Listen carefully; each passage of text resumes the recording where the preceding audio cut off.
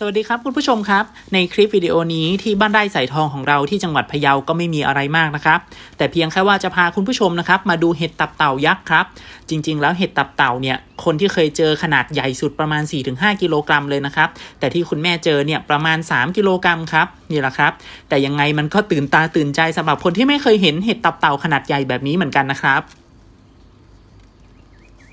นี่แหละครับที่เห็นอยู่นี้คือเห็ดตับเต่านะครับสาเหตุที่เราปล่อยให้เห็ดตับเต่าที่สวนที่บ้านไร่ใส่ทองของเราเนี่ยบานจนถึงขนาดนี้ ก็เพราะว่ากลุ่มนี้นะครับที่บ้านไร่ใส่ทองของเรา จะนำเห็ดตับเต่าไปทำแม่พันธุ์ต่อไปนั่นเองครับ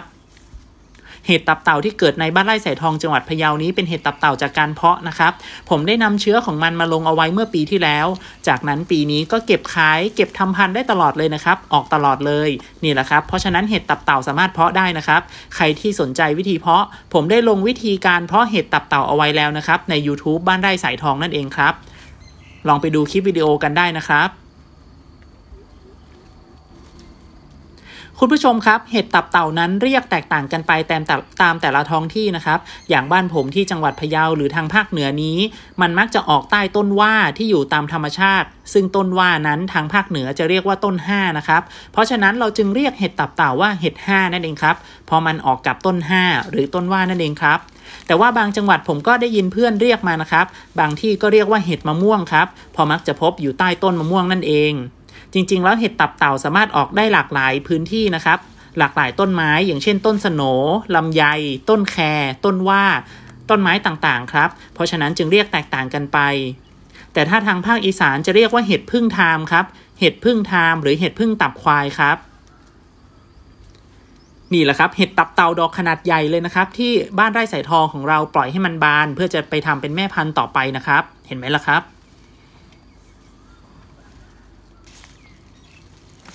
สาเหตุที่บ้านไร่สายทองของเราจะต้องปล่อยให้เห็ดตับเต่ามันบาน แล้วก่อนที่จะนำไปทำเป็นแม่พันธุ์นะครับ ก็เพราะว่าเห็ดที่บานนั้นสปอร์ของมันจะเจริญเติบโตเต็มที่ครับ เห็ดทุกชนิดเกิดขึ้นมาจากเชื้อราครับ เชื้อราชั้นสูงที่ก่อตัวขึ้นมา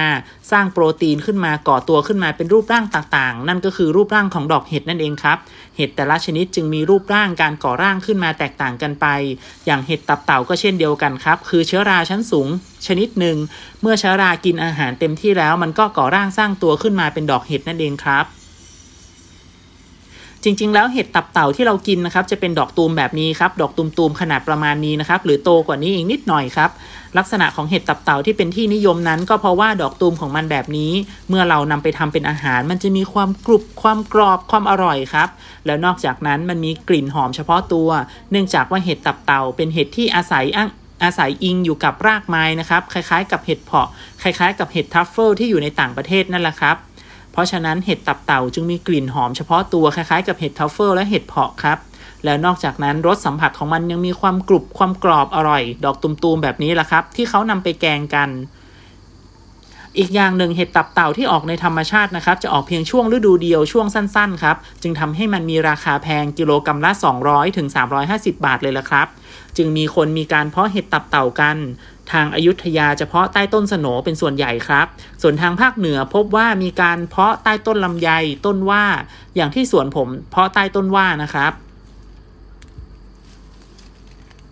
และนี่นะครับ อย่างที่บอกว่าเห็ดตับเต่ามันเป็นเห็ดที่อาศัยอิงไปกับรากไม้ เพราะฉะนั้นเมื่อเชื้อมันไปลงที่กอกล้วย มันก็เกาะอยู่กับรากต้นกล้วยครับ เดี๋ยวลองดูนะครับ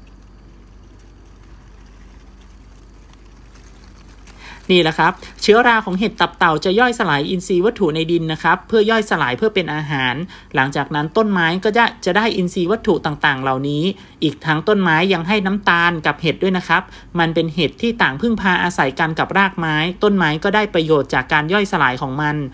เห็ดก็ได้น้ำตาลจากรากไม้ครับ เป็นการพึ่งพาอาศัยกันครับ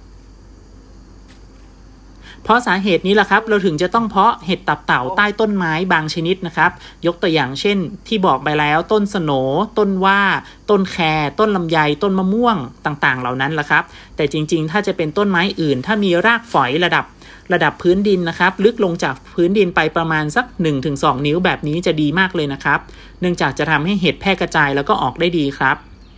ใครที่สนใจวิธีการเพาะเห็ดตับเต่าเข้าไปดูได้นะครับ ผมลงวิธีการเพาะเห็ดตับเต่าเอาไว้แล้ว เป็นคลิปวิดีโอในบ้านไร่สายทองนี่แหละครับ ลองเข้าไปดูกันได้นะครับ